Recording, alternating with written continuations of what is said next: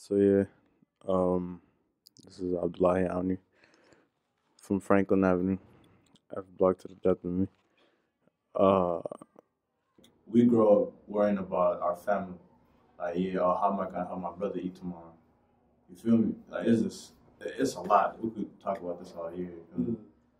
I would just ask him, would you would you want your kids growing up in this type of neighborhood?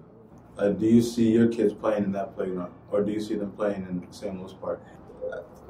First, they can start off with, with like a like a social spot, but like even if they gave us enough funding for a basketball team, so that we could even hire coaches, how many people do we know that are beyond code at basketball?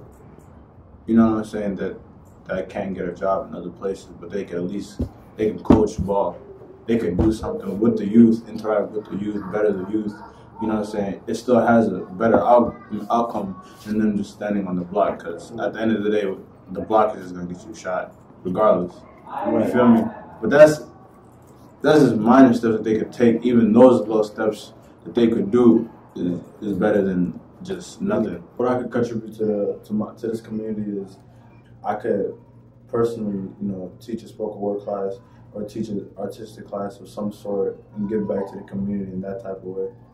Uh, what what I ask for the senators is give us the resources that we need to better ourselves.